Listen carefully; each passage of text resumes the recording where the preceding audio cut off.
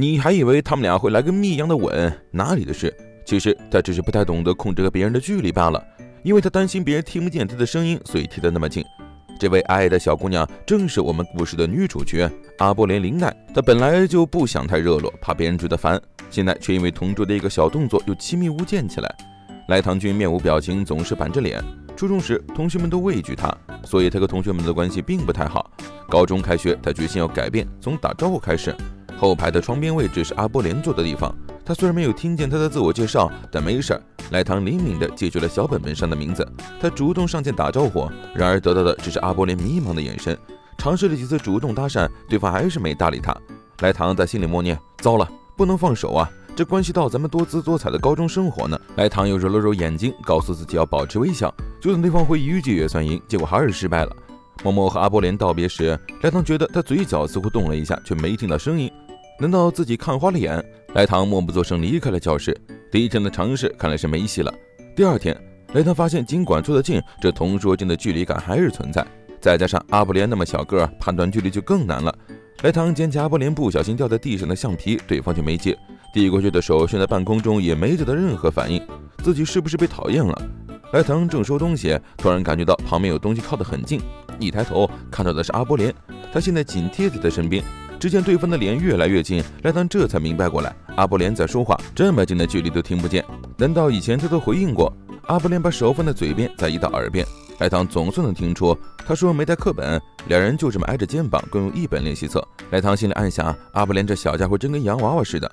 阿布连又一次出现在莱唐面前，莱唐猜他可能一起分享便当，但他自己似乎没意识到两人贴得这么近，想着阿布连这么小，便当对他来说是不是太丰盛了？莱唐没想到的是，他还想着要喂他吃肉丸子，他有些不好意思，但丸子已经递到他面前，没办法，只能接受了。最终，两个人连回家路上的亲密无间。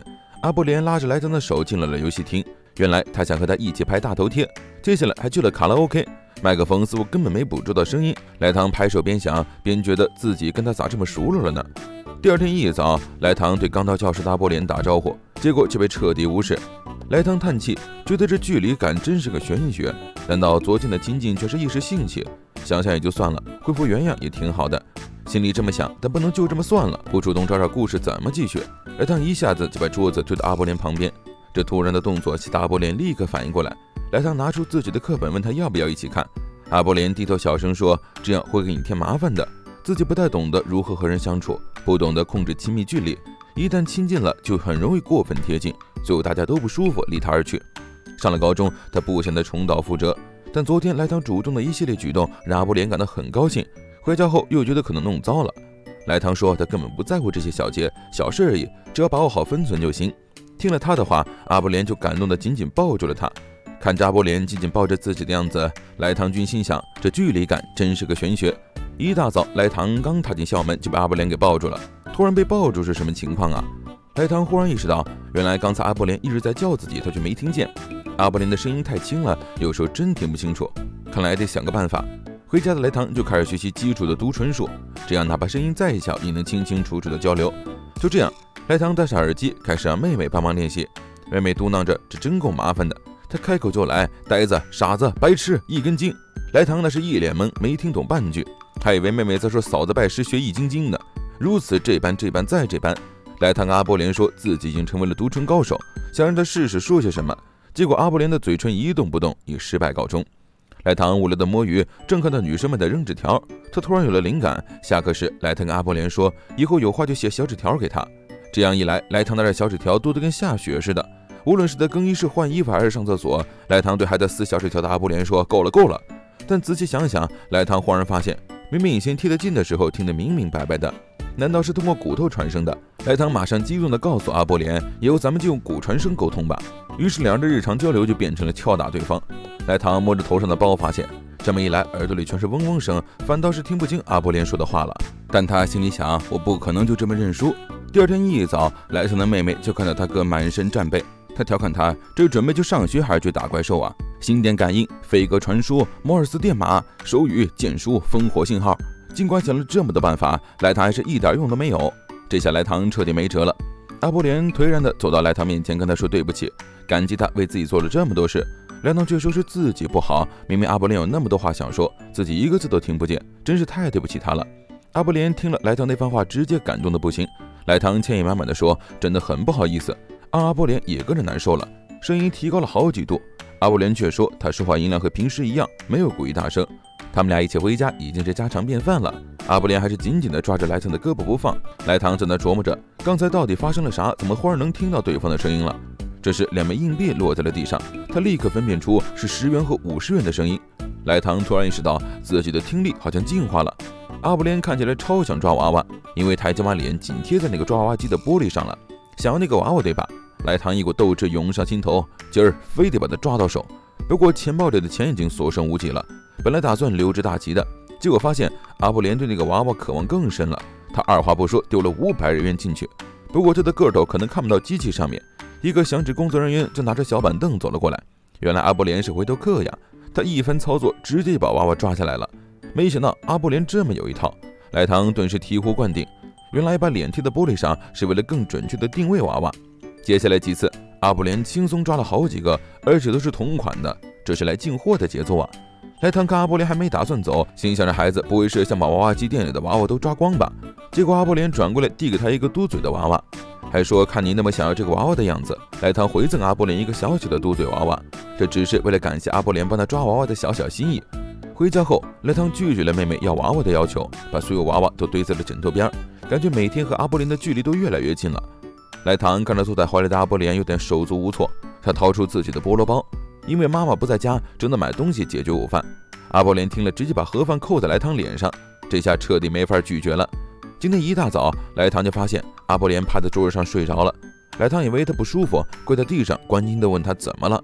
阿波连直接将脑袋靠在他肩膀上。阿波连困得厉害，因为起得太早了。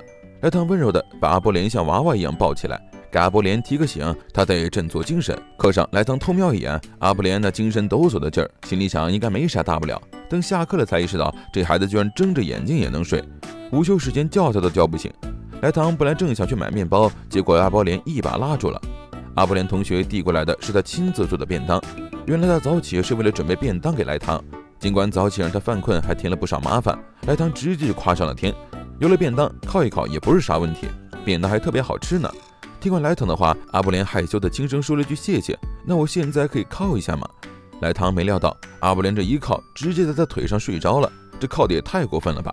阿布连同学的行为真是捉摸不透，距离也无法把握呀。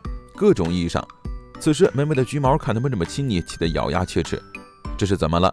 今天阿布连的校服怎么破破烂烂的，看着就像打完架一样。莱唐的脑子不由自主地想到阿布连一个人勇斗三人的场面。这会儿阿波连气场全开地站在莱唐面前，莱唐心里咯噔一下，以为自己要挂了。没想到阿波连就是来了个头锤，还道了个歉。原来阿波连这样子只是因为眼睛进了东西，一路撞过来，完全是因为看不清。莱唐递过去眼药水，大波连好像自己滴不了眼药水，眼药水到处都是，就是没滴到眼睛里，眼药水都快用光了。莱唐决定还是得帮帮忙，不过阿波连这技能点的啥呀？眼药水怎么滴都滴不中。莱唐只好稳住阿波连的头，差不多得贴着眼睛才行，得自己靠近点才能看得清。好不容易眼药水终于滴进去了，莱唐又抱起他的小脑袋问东西洗掉了没？听不清，莱唐又靠近了一些，谁知道阿波连突然就害羞起来，看来这距离真是没法掌控呀。换做他主动靠近，可能连更近都不会脸红。莱唐突然羞得手忙脚乱，就撒手了。吃午饭的时候，阿布连想报答莱唐的帮忙，又把饭盒子往莱唐脸上一盖，忽然一阵妖风，莱唐的眼睛里也进了点小灰尘。阿布连就一把揪住莱唐的衣领，让他的头靠在自己的腿上，准备帮他滴眼药水。放开那个男生，让我来！我也想躺在阿布连的膝枕上，可惜阿布连还是没滴好，眼药水给莱唐滴了一脸。忽然，一个影子闪过，莱唐一激灵，赶紧坐起来环顾四周，结果什么也没发现。回教室的莱唐拖着熟睡的阿波连正在搬椅子，突然感觉到门外有人盯着，但回头却一个人影没看见，太奇怪了。阿波连拉着他的时候，莱唐又感觉到那道视线，难道自己被杀手盯上了？自己做了啥得罪人的事儿吗？莱唐开始回忆，是不是小时候踢球不小心把人家花坛给花踩坏了，还是没把午饭吃完偷偷塞桌子里了，或者是小时候偷偷吃了妹妹的布丁？想起来，莱唐觉得自己真的挺罪孽深重。花园室外路过的树上，到处都有神秘的黑影，莱唐都快被吓疯了，天天都心神不宁。阿布连知道后，就把他的头抱在怀里，一边摸头一边安抚他。莱唐这下子有点不知所措了。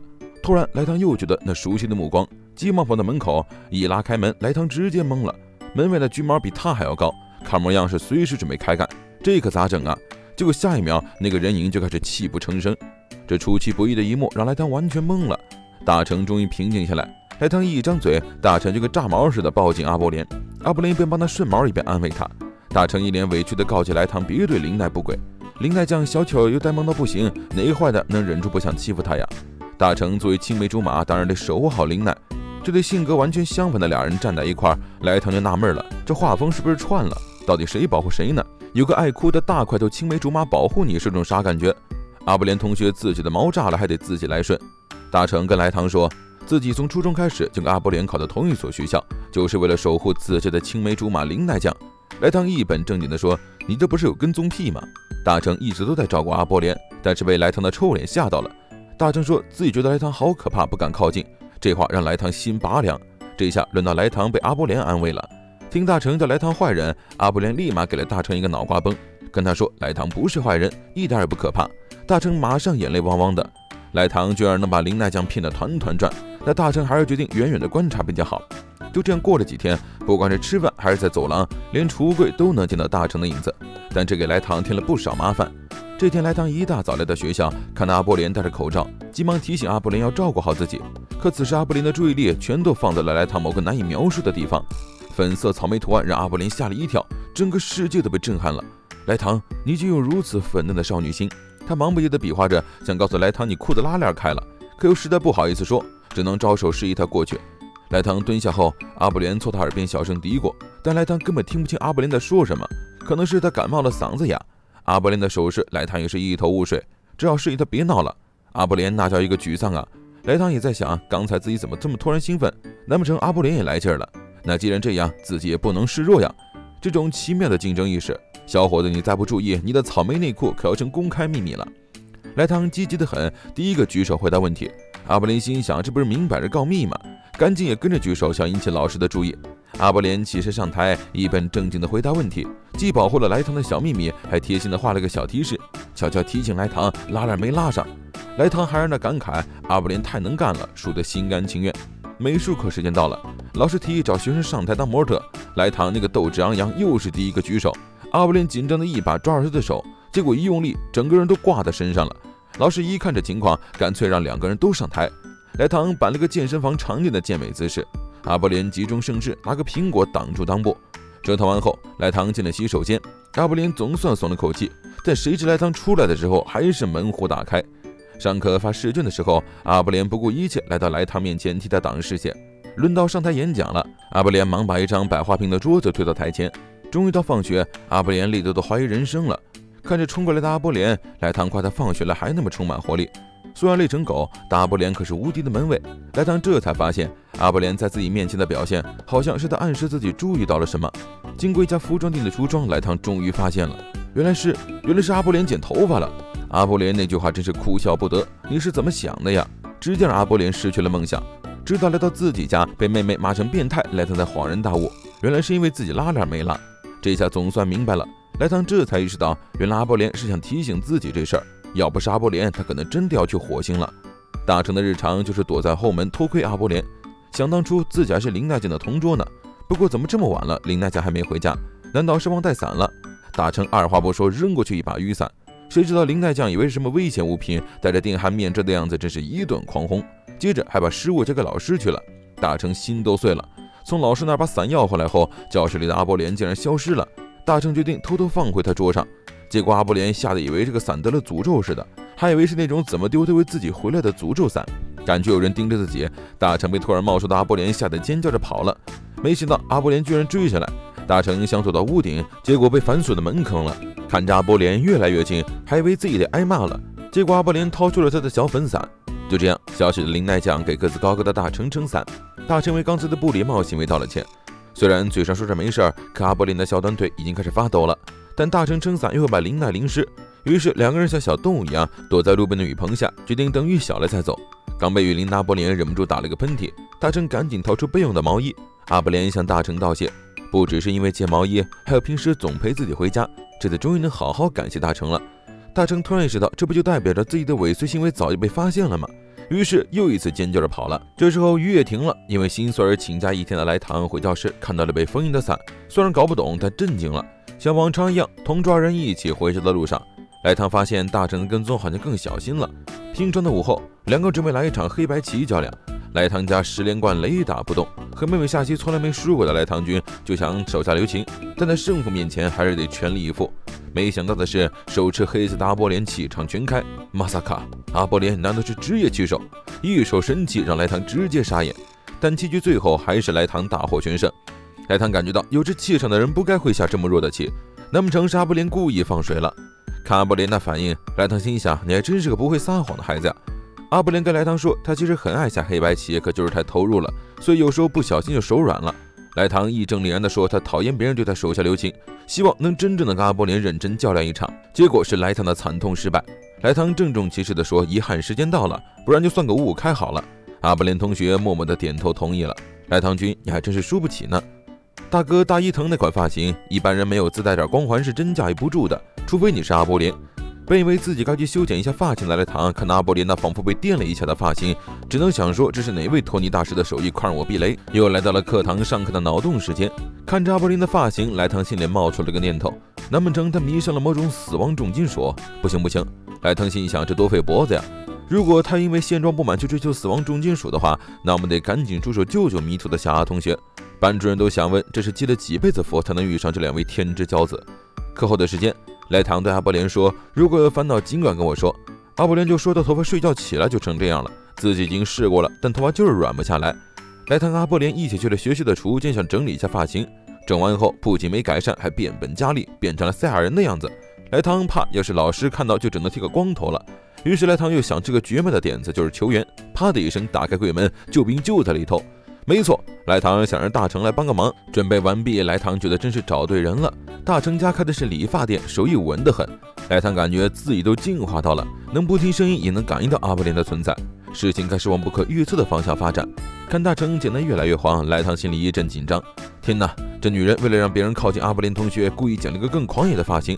莱唐不由得惊呼：“阿波连同学，你快跑吧！再这么搞下去，要是真的是个能打牌超级厉害或者打鬼超猛的发型，那就惨了。”结果出人意料，竟然是个超正常的侧边马尾。大成的手艺是不是好的有点过分了？来唐夸奖了大成，有点不好意思，问来唐是不是也想来个发型？想了想，这样能把理发的钱省下来，简直就是大赚特赚。来唐乐呵呵的答应了。突然感觉到一丝杀气，来唐瞳孔一震，天哪，难道是要给我弄个无敌发型？看完以后，居然是毫无私人恩怨的样子，是个很普通的发型。来唐镇定地说：“没有剃成光头，还真是意外。”大成其实想剃。但想到林大将可能会讨厌，就止住了手。为了表示感谢，阿波连邀请大成一起去吃午饭，决定把自己的菜让大成尝一口。面对阿波连的喂食，大成露出了谁都会有的害羞表情，因为太害羞了，坐得远远的。无奈，只好找了一双超长的筷子来喂食。赞了阿波连的便当好手艺后，莱唐陷入了深思。发型问题是解决了，但那个动作看起来阿波连同学似乎还是有点压力。阿布连告诉莱唐，自己的手裂了口，舌头也是，然后拿出一支唇膏，希望莱唐帮忙涂一下。问自己为什么不涂，阿布连给出了答案，涂得满脸都是。莱唐已经见怪不怪了，果不其然，还是老问题，手和脸的距离拿捏不准。莱唐细心的把阿波连涂上了唇膏，让大成羡慕不已。谁知道莱唐的手艺也一般，弄了一大圈，真是手笨得很。大成看不下去了，一眼就看出了问题，给阿波连涂了保湿水乳，然后轻轻的上了唇膏。专业素养让大成直接上了一套完美服，最后擦点护手霜，阿布连整个人都容光焕发，还把剩下的护手霜分给了两人。形象问题算是解决了。莱唐接着问：“还有啥烦心事儿？”阿布连想借借上课的笔记瞅瞅，因为前头的同学个头太壮了，挡人看不见。莱唐恍然大悟，原来那会儿社会摇是为了看到黑板的。莱唐直接给阿布连搭了个双层小楼，这回应该不会被挡到了。结果因为怕高，反而更没心思学习了。但是把阿布连举起来，自己也撑不了多久。试了骑马、马座、来堂桌的钱、潜水镜、镜子、蜘蛛侠、对讲机、天文望远镜，最后决定还是并排坐比较好。莱唐暂时欢迎阿布连和自己坐在一起的。换座位那天，虽然会迟到，但肯定不会缺席。虽然嘴上为阿布连能看到黑板高兴，但这意味着以后没办法近距离聊天了。莱唐心里其实有点失落，心里也上演了一波生离死别的戏码，决定在分开的最后一周做点什么特别的。混合垒球比赛，缘分让我们这对同桌又成了队友。莱唐知道这是老天爷给的机会，现在就该好好帮阿波连热身拉伸了。一声裤子撕裂的响，莱唐觉得这手感怕不是把孩子的骨头整错位了。听阿布连要求再用力点，莱唐毫不犹豫用尽全力。看阿布连已经被折成了两半，下一秒又蹦了起来。看来阿波连还真是扛得住莱唐的摧残。轮到实战了，莱唐投球，阿波连击球，上来就是个震撼人心的天平击球。其实只是阿波连拿棒球有点吃力，但莱唐已经斗志满满，决定今天非得全力以赴不可。两个球后，莱唐粗略画了个好球区，好球区在击球手的肋骨到膝盖之间。嗯，好球区有点短呢。你是在说阿波连同学腿短对吧？阿波连挠了挠痒，莱唐还以为这是打击前的暗号。看阿波连蹲得很低，球区越来越小，看来阿波连也准备拿出真本事了。阿波连只是太热了，站不稳而已。两人隔着位置，夸父聊得火热。最后莱唐扔了俩砸球，阿波连轻松得分。料理课上，老师分我们四人一组，莱唐、阿波连、佐藤、石川就成了队伍。虽然不清楚另外两位水平如何，但阿波连的厨艺那是杠杠的。有戏，有阿波连在，绝对没问题。莱唐回头一瞧，阿波连累的灵魂都快飞出来了。看来只能靠自己了。得让阿波连先吃饱，才能吃到他做的菜。一番利落的估计，莱唐君成功做出了仰望星空和一串散发着怪味的食物。这下莱唐灵魂出窍了。没想到阿波连居然吃得津津有味，把所有菜品都吃完了。阿布连出身登陆，立马做出了合格菜品。石川感激了两人。阿布连的拿手的大肉丸一直是莱唐的最爱。料理可没吃上，午饭时阿布连赶紧补上。莱唐已经习惯了阿布连的喂食，但这会儿实在是吃不下了。吃饱喝好之后，阿布连让堂弟帮了个忙，结果用手机录下了这地狱级尴尬舞蹈。莱唐心想：难道阿布连要当主播了？想起自己唱歌视频的惨淡播放量和点赞，莱唐不由得紧张起来。主播的世界真是残酷呀！看着阿波连认真的模样，莱唐为阿波连找到梦想而开心。猛男流泪了，也不敢再阻拦他。换座位前得帮阿波连做点什么，就是支持他每一个梦想。于是俩人开始了一起练习。阿波连说，俩人一起练更容易记住动作。可你俩这完全就是在打架呀！莱唐的脑海中浮现自己俩成为最强主播的场面，想到把爱好变成工作，热血沸腾。如果能成为搭档，那关系一定能更近。有一天要称霸日本。不，莱唐甚至想成为代表世界的组合，为了感动全世界的人民啊！这就是为了梦想燃烧的青春呐！顺利拍完视频，两人在夕阳下击掌，全世界都在期待这对组合。第二周，老师让女生来个原创舞蹈表演，阿波连同学自告奋勇站了出来。老师评价了一下，说动作虽然怪，但品质挺高，顺利通过了。莱唐一脸懵，我晕，难道只是为了课上表演才练习舞蹈？天台上的莱唐想起来昨晚传的双人舞蹈视频，心里嘀咕着：这舞蹈还拿不下你们，播放量肯定涨疯了吧？搞不好两人的新宝岛在网上火了呢。点开一看，播放量一，来唐心里咯噔一下，那个赞绝对是你自己的小号点的吧？一周就这么一眨眼过去了，分别在即，阿布连出了说莱唐，告诉他自己一个人会很无聊。莱唐安慰他说，新同桌肯定也是好人，分开也能分享笔记，还可以一路走路回家。虽然说着还好，满脑子都是阿波连在一起的日子，看得人潸然泪下。结果换座位啥变化都没有，阿波连旁边还是那位大块头。莱唐对阿波连说：“以后也请多多关照。”看来他们的日常还会继续。是不是老师也不忍心让这对分开呀？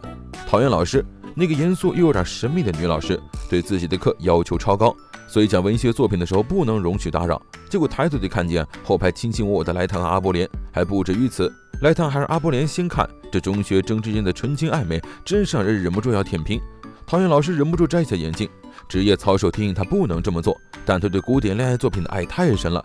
讨厌老师一看到男女就忍不住要舔屏，他强迫自己要冷静，心想这俩孩子肯定没戏。讨厌老师还太年轻，果然没一会儿，阿波连为了看清楚对方，结果对方紧紧贴在一块了。卡布连小巧的坐在莱唐怀里，讨厌老师激动的粉笔都折了，心里那个乱呐，直接欣喜若狂。两人那么善良，看到老师感动的都哭了。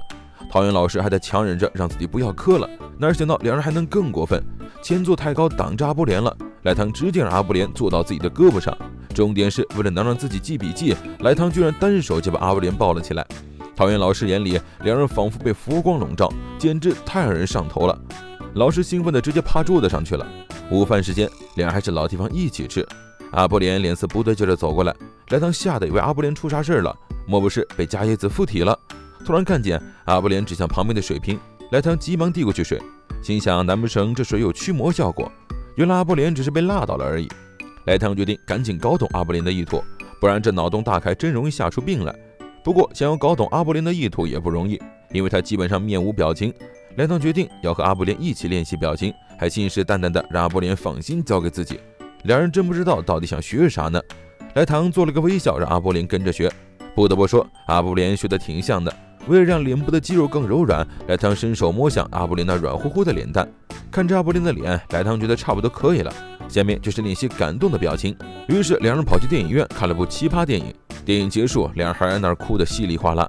经过一系列惊吓和鬼物训练，终于到了最后一步，和莱唐比谁的鬼脸更厉害。阿布连一上来，莱唐还能忍住，哪知道下秒莱唐就笑场了，直接认输了。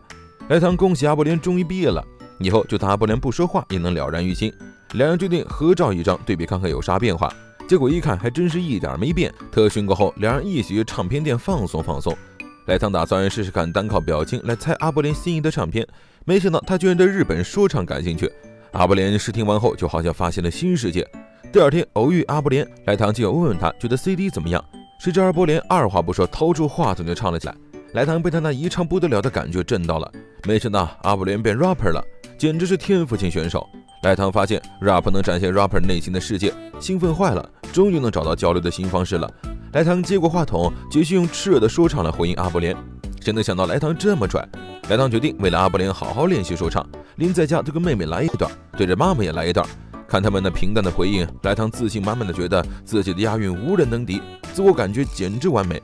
然后学校里的莱唐和阿布连的对话风格一下子变了，成功的对话让莱唐更加自信。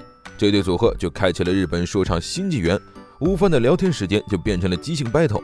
阿布连对这场 battle 可高兴了，那谁料到自带麦克风会违反校规，被老师收走了。莱唐觉得没了麦克风，rapper 照样继续，结果一开口就是挺尴尬的对话。果然没有麦克才是关键。早饭后，妹妹想着昨天的回音太冷淡了，就把自己的指尖陀螺扔给莱唐，还装作是自己玩腻了才给的。毕竟没有傲娇妹妹，这事业就没意思了。阿布连一看见莱唐手里的指尖陀螺，看着旋转的陀螺，阿布连灵机一动，接着借过去玩了，连吃饭的时候都舍不得放下。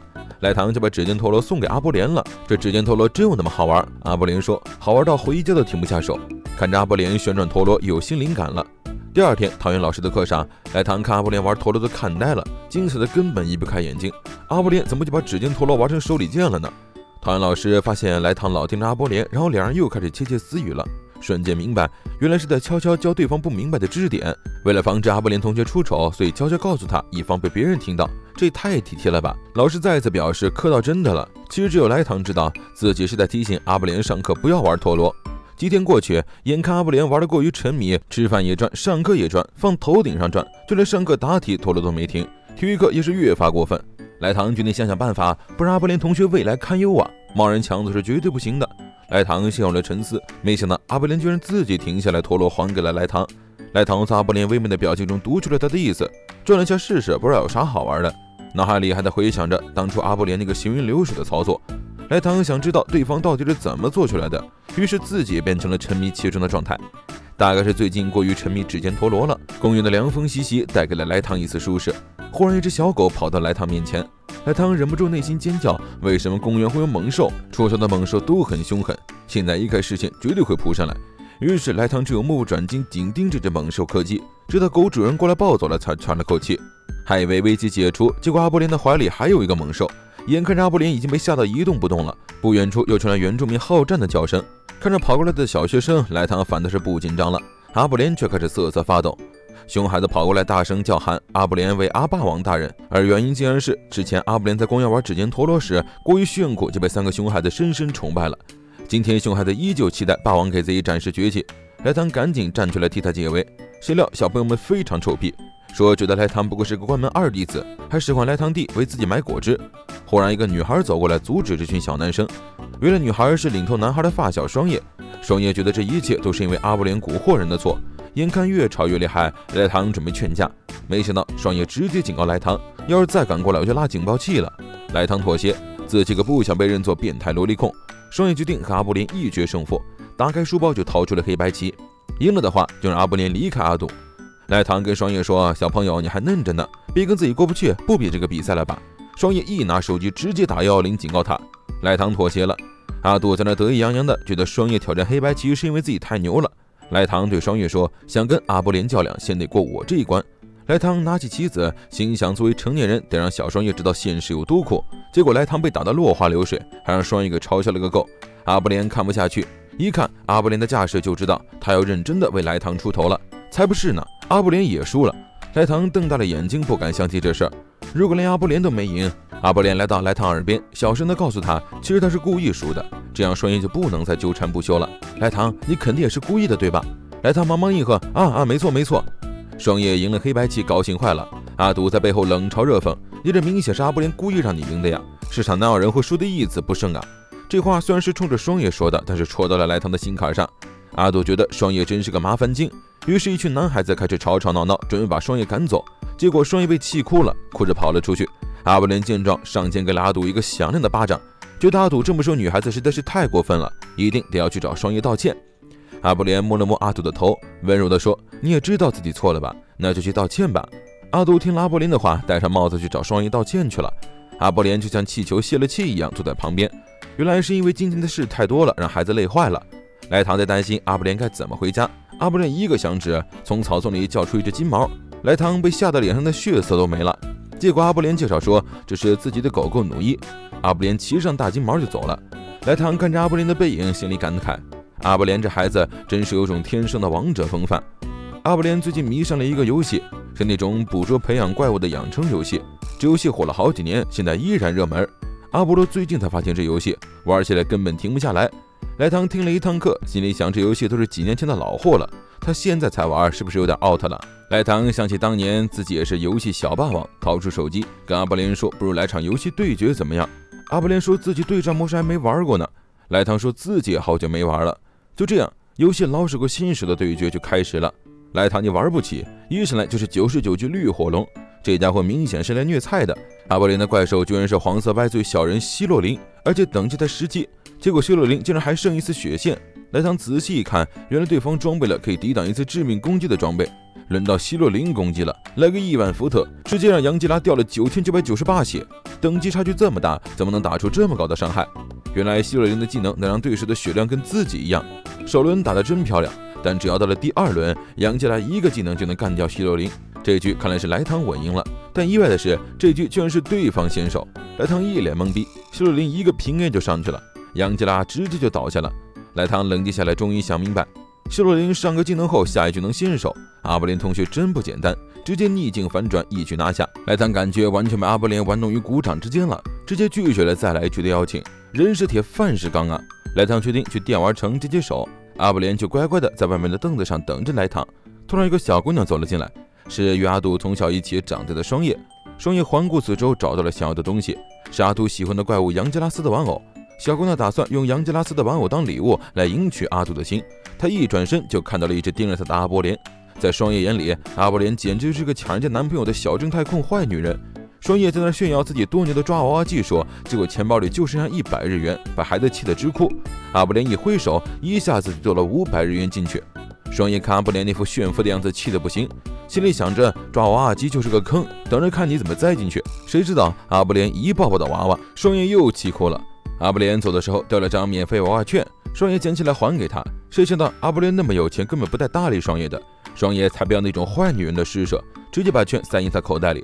反正这是要送给阿杜的生日礼物，还是得靠自己掏钱抓。最后的一百日元，双爷突然看到出口处有个快掉下来的杨吉拉斯，双爷暗笑：阿布连这个大傻瓜肯定是忘了。脑海里回想起阿布连的手法，双叶也学中同样的技巧，成功抓到了。小孩子就是小孩子，得意忘形。回家路上，双爷还在想那个大傻瓜阿布连林奈，那么好的抓娃娃都不要，非要显摆技术。越想，双爷就越觉得他是故意的，但还是死傲娇，不敢向他说谢谢。莱唐一出来就收到了一大兜的杨吉拉斯，阿布连热情的不行。莱唐就在枕头边又热闹起来。阿布连总觉得今天莱唐哪里不对劲，以前都是叉 L，现在怎么变成叉叉叉 L 了？阿布连偷偷在莱唐耳边说：“你胖了。”莱唐震惊的差点没从窗户上摔下去，幸好这都是阿布连的幻想。他赶紧甩甩头，让自己冷静下来。上课时偷偷瞄了一眼旁边的莱唐，阿布连突然想通了，为啥他会胖？原来是自己每天喂他吃大肉丸子，吃好吃好喝的，这么喂养人家，当然会胖成叉叉叉 L 啊！想到这儿，阿布连整个人都感到了愧疚，得让莱唐瘦回原来的样子。第二天一早，阿布连就开始研究猴子都能懂的那种超简单减肥书。莱唐一打招呼，他就赶紧把书藏进了课桌。阿布连有点尴尬的转头问莱唐有没有看到。莱唐虽然看到了，但还是装作什么都没看见，因为莱唐心里以为阿布连是因为在乎体重才看的书的。莱唐就开始操心起来，决定要帮阿波连一把。莱唐回到家就开始研究海狗中的学会的减肥法，决定亲自试验之后再教阿波连正确的方法。好啊，不愧是你俩！莱唐还就真歪打正着，凭借这个方法瘦了下来。一天清晨，莱唐含糊其辞地对阿波连说：“他觉得阿波连这样就挺好，如果真想变，他也会全力支持。”然后莱唐就开始给阿波连推荐他那本《海狗减肥书》，直到阿波连告诉他，他其实根本就不打算减肥。班主任走进教室，跟大家宣布，下周就是考试周，如果哪门课挂了，就得补考。一提到补考，莱唐就想起上次考试的成绩排名，自己差点就挂了。这次考试也没认真准备，这下完了。再看看阿波连，即使面临这种情况，也是毫不在意，轻松应对。阿布连身上就是有种学霸气场。莱唐心想，要不请阿布连来辅导自己吧，干脆开个学习小组。于是他们放学后就去了市立图书馆，因为那里学习氛围浓，周围也安静。他们决定用写字来交流吧。这样一来一往的，他们来的笔记本全都用来聊天了。莱唐还是觉得换个地方比较好，不然笔记本都不够他们两个人用。一到餐厅就开始专心吃东西，学习都抛到脑后了。去了猫咖，更是开始尽情撸猫。莱唐因为怕猫吓得直发抖。到了公园又碰到阿堵和他的小伙伴们，双叶也加入了热闹，挑战阿波连算术比赛。他们对视一眼，发现还是教室最舒服。阿波连向莱唐表示感谢，说自己一点没复习，但有莱唐在一起复习就很开心。莱唐还在想，阿波连那么镇定，肯定胸有成竹吧？谁知道阿波连只是愁得一动不动。他们商量好了，上次考得好的那科就互相教。结果阿波连居然是全科都得包。莱唐给自己定了个目标，这得非得考进前一百不可。就这么一直复习复习，终于来到了考试的最后一天。大扫除的任务落在了佐藤石川和来唐还有阿波连四个人头上。大家分好工作，来唐也是干劲十足。转头一看，阿波连的热情比自己还要高。阿波连呐，咱们可是在大扫除，不是在打怪兽啊！阿布连偷偷凑到莱唐耳边，说自己超喜欢打扫，还特别在行，就让他来搞定吧。阿布连居然还带了整套的外墙清洗工具。莱唐都惊了，你这不是擅长的问题了，你是专业级的清洁工啊！想起阿布连刚才拿扫把的劲儿，都像是在挥用双截棍。莱唐忍不住想，阿布连难不成是黑道家族出身的，从小就被训练成了黑手党里的清洁高手，所以他脸上不带感情也是训练出来的吧？难不成发现了这个秘密，自己会被灭口？阿布连打扫完外墙，回到教室，佐藤在抱怨地板上的污渍怎么也洗不掉。看阿波连往水桶里倒进了某种神秘液体，莱唐吓得浑身发抖。难道这是要毒死我吗？用那种加了神秘液体的水打扫，效果果然好了很多。莱唐终于松了口气儿，看来阿波连只是单纯的喜欢打扫清洁。又川和佐藤打扫完就走了，莱唐跟阿波连只能留下来复习一会儿。阿波连指着讲台说：“他来负责这边，莱唐你就管讲桌吧。”看着阿波连那瘦小的身影，莱唐心里感慨：他还真是个能干的小家伙。下一秒，阿布连脚下一滑，差点摔倒，连讲桌也差点砸起来。莱唐眼疾手快，一下子扶住了讲台。稳稳当当的把讲台扶好，两个人第一时间都在关心对方没事吧？哎呀，这两人怎么这么让人心疼啊？他们一起复习到了太阳快下山，终于把考试范围都复习完了。莱唐总算松了一口气，现在可以放心的去考试了。这么多天下来，莱唐真心感谢阿波连，如果不是阿波连，自己估计又得倒数了。莱唐刚说完，阿波连也回。过了一会儿，莱唐没听清楚就凑近一点，下一秒，阿波连就轻轻抱住莱唐。阿波连第一次帮莱唐打成功了，他乐得合不拢嘴。一直都是莱唐的帮忙，做了好多好多，自己添了不少麻烦，总是依赖着莱唐。明明打扫这事儿自己挺行的，不想靠莱唐，结果还是麻烦到他了。这次能帮上莱唐，自己挺高兴的。莱唐听说了以后，从没觉得阿波连麻烦。阿波连也帮了很多必不可少的朋友，莱唐也很依赖他。医疗兵，快来救我呀！血槽空了，快要见祖宗了。云开日出，两人互相道了声谢。阳光洒进屋里，考试咱们一起努力加油。莱唐话音未落，发现阿波连还紧紧抱着不放，浑身都累得颤抖。看出来阿波连真挺喜欢莱唐君的，这几天努力没白费。莱唐名次飞跃到八十，阿波连功不可没。游泳池里带潜水装备的也就阿波连做得出。莱唐看着武装的牙齿的阿波连，不知道该怎么吐槽好。阿波连说水里危机重重，莱唐觉得有道理，但这水真没那么深吧？阿波连默默地把装备扔了一地。一入水，阿波连直接沉底，莱唐只好把他拉上来。原来阿波连根本不会游泳，莱唐这才明白为啥装备那么全。莱唐自告奋勇的教阿波连游泳，结果自己一个猛子也沉了。还得是你俩出水芙蓉后，莱唐才意识到自己根本不会游泳啊！一旁水里的小旋风大成吸引了他们。原来大成才是真正的多才多艺，之前学过竞技游泳。大成感激他热情的目光说：“燕儿不介意，他可以教。”几轮下来，大成领教了啥叫孺子不可教也。两人连游泳姿势都出奇一致，最终还是教会了他们怎样游泳。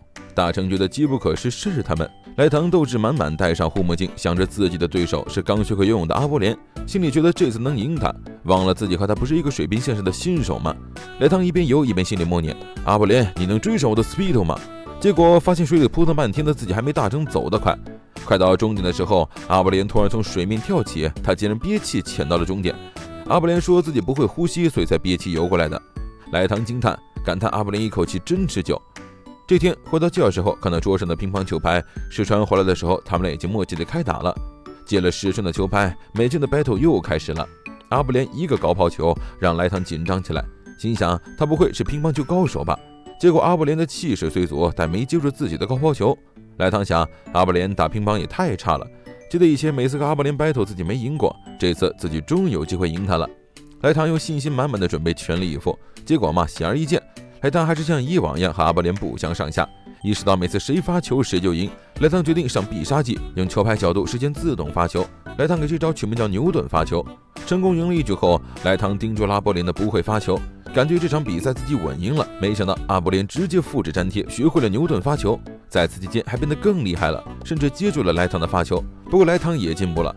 就这样来到了赛点，莱唐决定最后一局要赢，两人紧张的对拉开始了。莱唐脑海中甚至幻想起了夺冠的场景，眼看球就要落到自己这边，莱唐轻轻一吹，挪到了中间的网上，勉强算是平局好了。阿布连貌似也接受了这个结果啊，莱唐走到阿布连面前，伸出手，眼神坚定地说：“咱们一起征服世界去吧。”阿布连默默接过了手。结果在乒乓球比赛现场，两人的第一局就被石川和佐藤十一比零击败，冠军之梦就这么结束了。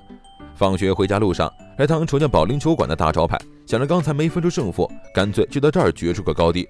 跳球时，莱唐被阿波连那股劲吓一跳，他小小的扛着一颗十六磅的球，轮到阿波连上了。他双手抱起的样子让莱唐想起曾经红极时的双手投球法，莱唐心里就断定了阿波连准是个保龄球小天才，就像保龄球界突然冒出的投球小天使。可这投球天使下面又栽了，保龄球太沉，阿波连根本举不稳。莱唐急忙去扶住他。原来阿波连对保龄球一窍不通，就随便抱了个最重的。莱唐就推销轻一点的球给阿波连试试。莱唐默默在心里播下了能赢的希望，然后在这希望在阿波连连续两波大满贯后，就在摇篮里被饿死了。莱唐一上来就是好几个掉沟里的球，知道找到这个奇葩头发才开始追分，最终比分差了一分。莱唐只要再得一分就能赢，但是装逼是要付出代价。老头重手的莱唐胳膊快顶不住了。莱唐把所有希望都放在胳膊上了，希望他能够突破极限，结果还是和阿波连打成了平手。保龄球馆一出来，莱唐觉得自己又行了。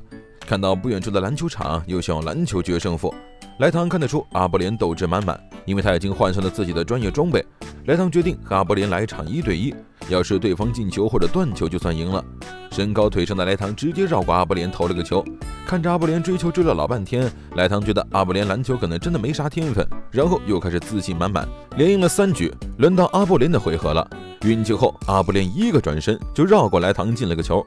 莱唐想了下才明白阿布连那转身是咋回事，原来阿布连运球是摔了一下子从莱唐眼前消失了。第二局阿布连又利用他那小小的身板在莱唐两腿下钻过去，这次篮球打边框儿没进。莱唐耍赖了这么多次后，终于赢了一回，还是得服阿布连同学的本事。梅开二度后，卧龙凤雏准备再度联手闯世界了。体育课上又是一番惨烈的教学现场。莱唐，快醒醒啊！看完丧尸格斗大片的莱唐，满脑子都想砸东西，于是就跑去玩电玩呈现的丧尸射击游戏。两个人都同意了，就各自拿起了枪。可游戏画面太高了，阿布连同学手抖的厉害，完全瞄不准目标。莱唐就示意阿布连往后退退，这样射击可能就容易些。感觉到阿布连同学可能第一次玩这游戏，莱特的保护欲就上来了，决心得保护下阿布连这么柔弱的同学。莱特的技术也没能撑住他的豪言壮语，一会儿的功夫零花钱就花光了。要是阿布连单打独斗，那肯定是给丧尸们随便宰割。阿布连同学被丧尸包围的时候，临危不乱的抬枪，一枪爆头带走一个丧尸。紧接着几个爆头让莱唐意识到了，因为把握不了距离，阿布连同学索性不管远近，全部爆头。正打得起劲儿，阿布连掏出自己的硬币塞到了莱唐的机子里。莱唐还以为阿布连是要帮自己加条命，哪知道他一把枪不够，又举起了第二把。阿布连双枪齐发，把游戏给干翻了。莱唐看着阿布连那潇洒的姿势，只能感叹。阿布连去厕所后，莱唐一个人闲逛，看到一个熟悉的背影，莱唐就走过去了。于是上前一问：“阿布连，你不是去厕所了吗？”谁知道阿布连一回头，莱唐看他的表情跟见鬼了似的。莱唐没见过这表情，心里难受，以为阿布连失忆了。赶紧自报家门，我是莱唐。听到莱唐的名字，阿布连总算冷静下来。莱唐真是惊了，抓娃娃这事儿，阿布连居然不会。于是莱唐主动提出了帮忙，一下就抓到了。阿布连乐得夸莱唐，但是莱唐越想越觉得有点不对劲儿。阿布连拉着莱唐的胳膊，又来到射击游戏。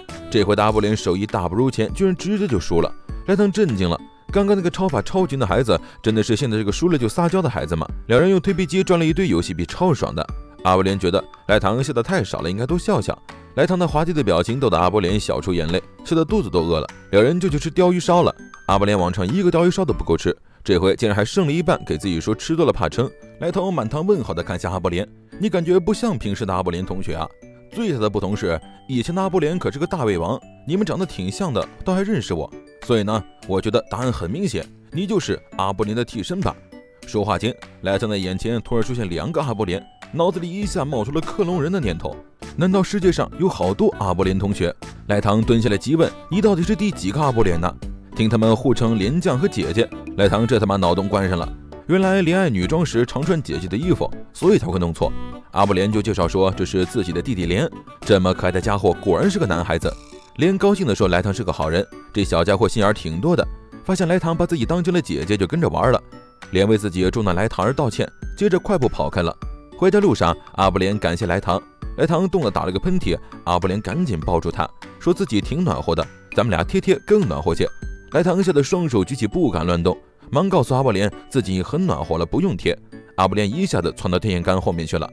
莱唐看他蹦得那么远，就在那感慨：今天的阿波连依然是判断不了距离呀。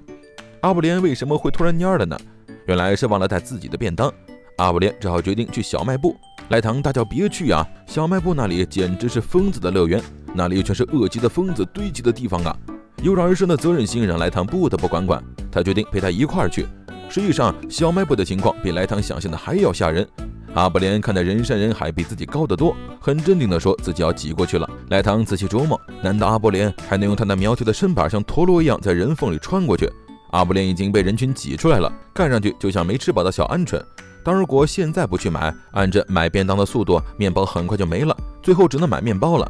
阿布连没米饭就没劲儿，在进退两难中，莱唐想了个好办法。莱唐的座驾出动了。靠着莱唐和阿布连的组合身高，轻轻松松就穿过去了。结果他们又碰到了新难题。阿布连声音太小了，阿姨压根听不见他在说什么。没辙，只能往外挤想办法。但人多得很，莱唐被挤了出去。阿布连直接在人堆里不见了。莱唐忽然看到人群中飘着一双腿，阿波连直接变身演唱会上的明星，在人潮中滑到了阿姨面前。因为声音显得像蚊子，阿波连被推了出来，最后只抢到了一个菠萝包。很明显，这远远不够填满阿波连的肚子。莱唐决定用自己的便当来和阿波连交换，也是为了感谢阿波连平时的照顾。两人交换成功，准备去常去的那个地方。阿波连家的巨兽出现在了学校，莱唐吓得一时语塞。没想到机智的努伊帮阿波连带来了便当。虽然便当到手了，但阿波连还是想偶尔继续交换一下便当。莱唐同意了。阿波连迅速把莱唐的便当和菠萝包都吃光。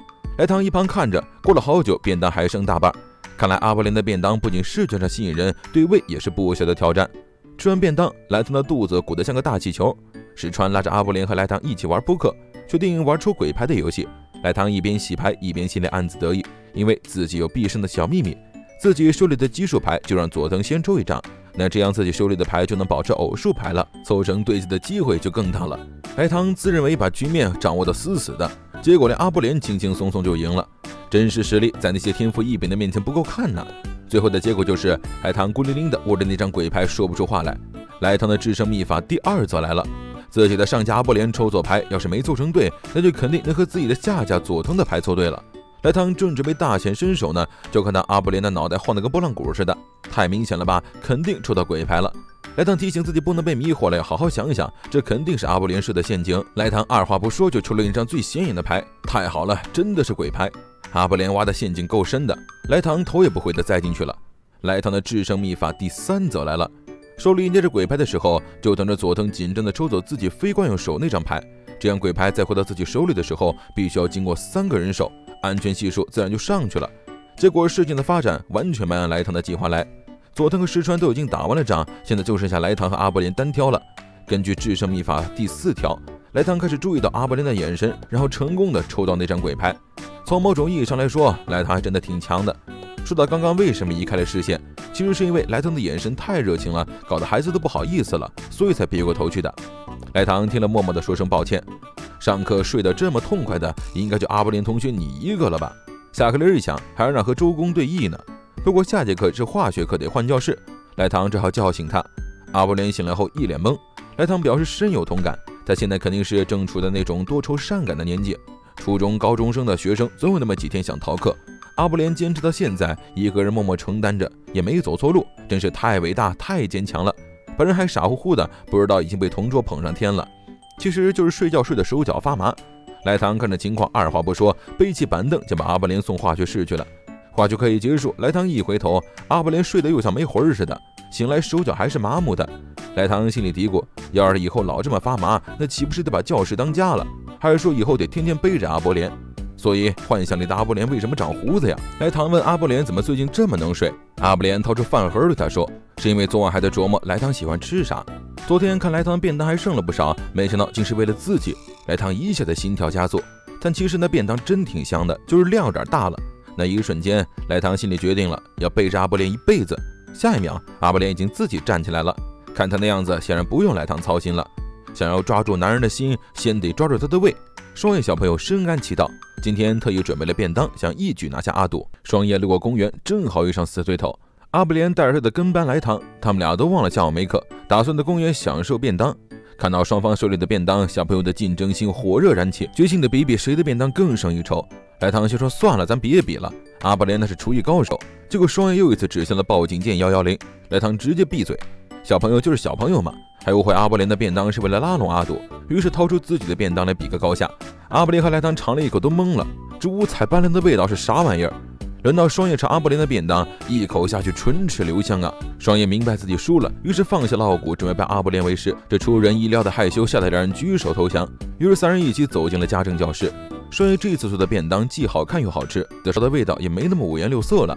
阿布连跟双叶说：“这是你努力的结果，阿杜肯定也会喜欢的。”双叶一听这话，脸就红了，不客气的说：“不用你夸，我自己心里有数。”跟死对头说谢谢，那简直太不可能。沉默了半天，双叶突然来了一句：“你真是个傻瓜，被我骗了吧？我现在的厨艺都快超过你了，对敌人这么慷慨，你真是好的过头。”莱唐感慨这孩子真是精力充沛。双叶离开后，心里明白这样不太好，但就是说不出口感谢。就这样的性格，不过双叶也有他可爱的地方，回家还抱着盒饭睡觉呢。那天美术课上，老师让大家随意创作，下周末交作品。石川觉得随性创作反而更难呢。阿布连也在犹豫不决要画什么主题。莱唐建议大家集思广益，石川就提了画风景。莱唐觉得这主意不错，风景画虽然普通，但挺合适的。风景画的关键是处理好远近和空间感。莱唐瞅瞅自己的画，简直像是毕加索的亲传弟子。突然，一个熟悉的声音响起，是双叶没错了。莱唐问他便当做的怎么样，没想到双叶小脾气一下子上来。血然一去的说：“阿布连给菜下毒了，阿杜吃了直接肚子不舒服。”莱唐内心暖暖的，你不会是把那时候做的便当给人家了吧？双叶心疼极了，这样不行吗？那当然不行啊！便当都馊了，都叫你钓鱼了，怎么直接把鱼给别人？便当得当天早上做才行啊！双叶感觉世界观都崩了。反复商量后，两人去了美术室，决定还是画人物比较好。首先得好好观察模特。莱唐双手举高高，阿布连就开始到处摸索，上下瞅瞅看了看。这观察的也太仔细了吧！轮到阿波连做模特，莱唐的眼神让阿波连扭来扭去。莱唐想了想，决定换个题材，然后又开始了粘土创作。莱唐说，粘土是立体艺术的基础，关键是表现作品的体积感。莱唐想捏个妹妹试试，捏出来和真人不是没关系，就是太像了，感觉是走了点印象派风。莱唐感慨粘土还挺难的，转头一看，哎呦喂，阿波连打算真要搞个大工程。莱唐就问：“你知道做多久啊？”阿波连说要两个月。那不是赶不上交作业了吗？莱唐最后决定画自己的自画像，大概是自恋给了他动力，画出来的比真人帅了不止一点点。终于到了交作业的日子，阿波连还在画室里头。莱唐进去一看，啥也没有，拍了拍眼前的阿波连，结果那人直接哗啦倒地。莱唐一看，咋心跳呼吸都没了？不会是莱唐不小心把阿波连给杀了吧？明天报纸非得弄个大新闻不可。莱唐开始给阿波连做心脏复苏，他觉得阿波连应该还能救一救。阿波连听见呼救声，赶紧推门进来，看见莱唐像个傻子一样在那救人偶，忙不迭的解释这是自己的等身人偶，但是这也太逼真了点吧？阿波连的人偶得到了老师的好评，确实挺逼真的。阿波连看莱唐那么喜欢，就把人偶送给他了。莱唐没办法，只好把他搬回家。晚上，莱唐的床边特别热闹，这样谁能睡得着啊？